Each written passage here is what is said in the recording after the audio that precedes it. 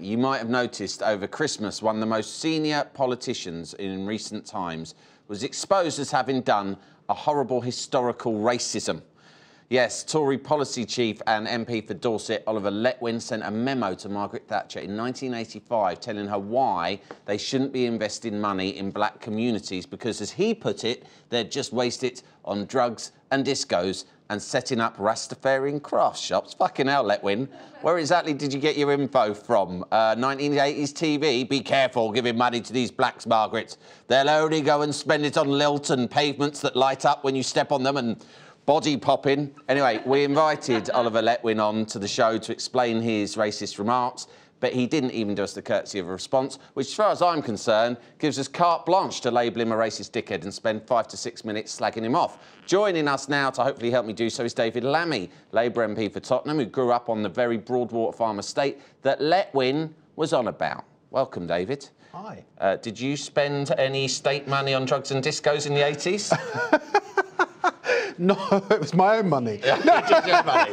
well, bravo for that. Um, no, look, Rastafarian Craft shops. craft shops. Yes. I've never ever seen one. There's one on every high street. You're not looking Uh, That- properly. that is just insane in the brain. But but what what beggars belief is that this guy had a very serious job. This was a huge. I mean, the riots were just catastrophic for Tottenham. It was a terrible moment. You're charged with briefing the prime minister of the day, and you come up with the biggest load of horse manure you can imagine. After the 1985 riots, there was virtually zero investment in Tottenham. Um, and you could argue that in some ways that built the kind of ground base for the second set of riots 25 years later. Um, other than a little bit of tarting up a Broadwater Farm estate, and I think we got a new library.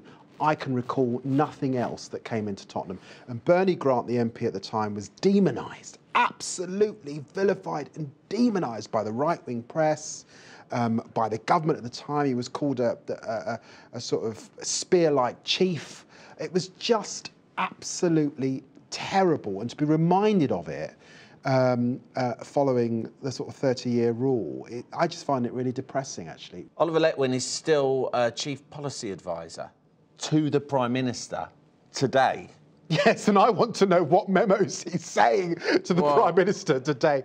Why is he in post? Look, I suppose it was 30 years ago, but this was serious, serious prejudice. He said there was a, he, he demonised a whole community as a sort of, as morally bankrupt. All of us, Well- including me, by the way. Well, he Uh, said um, and there's something, you know, slightly Nietzschean about this, that it was something inherent.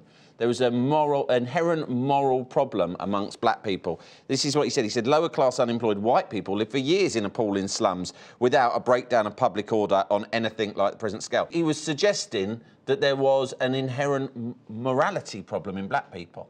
Absolutely, and what it but but what, what it sort of belies is a kind of Downton Abbey, aristocratic, superior sense that I'm on top, and all these poor people should know their place.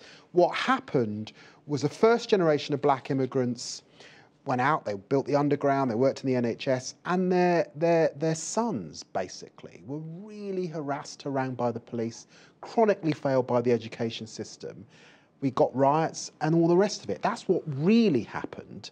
And actually, the idea that, that, that, that, that white folk in poor parts of the country were also not rioting, were also not upset, when the miners' strike was hmm. going on at the same time, is absurd and patently untrue. And there's a whole history along of of lots of poor white community as virulent in their objections at some of the things that they were foisted on them as black communities wherever they are in the world. That's what oppressed people do, in fact. Have you spoken to or seen Oliver Letwin since this around Westminster? I have not seen Oliver Letwin, um, but I uh, look forward to seeing Oliver Letwin. Um, and um, I don't know, I think I might end up wrestling him to the ground. Yeah.